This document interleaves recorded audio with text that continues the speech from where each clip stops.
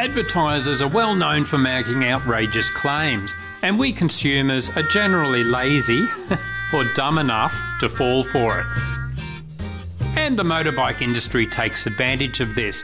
Some brands spend big money on racing. Subconsciously, we think if this brand wins so many races, then I will also be a winner. Or if the best riders are on this brand, I will be a better rider if I own that brand too. Or buy a Ducati and this will be your next girlfriend. Manufacturers can be very deceptive when it comes to claimed bike weights. Why?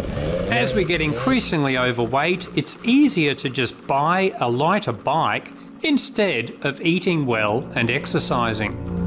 So, some manufacturers will fudge the figures or outright lie to sell their products. Some manufacturers use wet weight or curb weight, everything you need to ride the bike.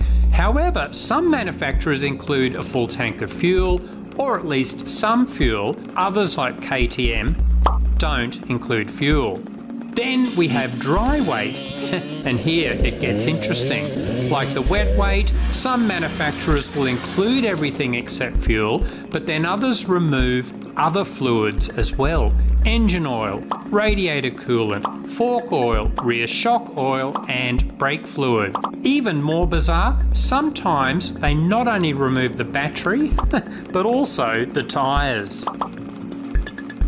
Unless the manufacturer has been specific about how they calculate their claimed weight, don't rely on their information. Classic example has been Sherco's claimed weight on their 300 four stroke.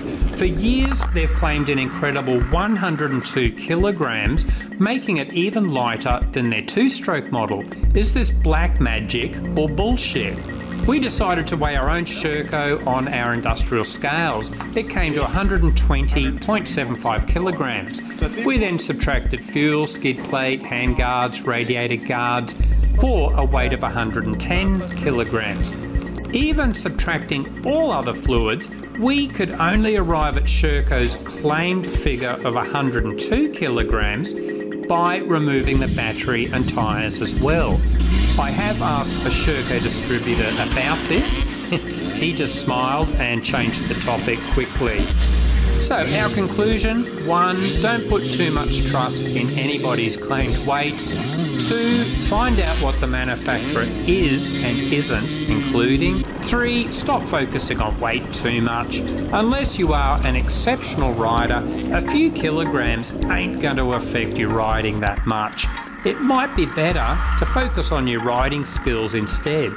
And if you have to focus on weight, why not focus on your own weight instead?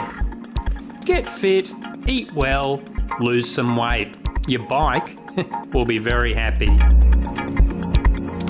Actually, we have done a video about reducing your bike's weight. It's called Dirt Bike Weight Reduction on our YouTube channel. Yeah, shake it, baby. Ooh yeah. I love your love handles. I want to see you wait and they wait. You want a piece of this? Your bike that is, not me. Bummer.